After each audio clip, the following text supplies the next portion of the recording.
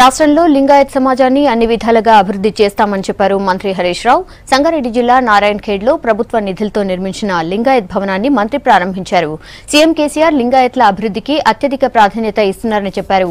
దేశంలోనే తెలంగాణ రాష్ట్రం బసవేశ్వర జయంతిని అధికారికంగా నిర్వహిస్తోందని గుర్తు చేశారు.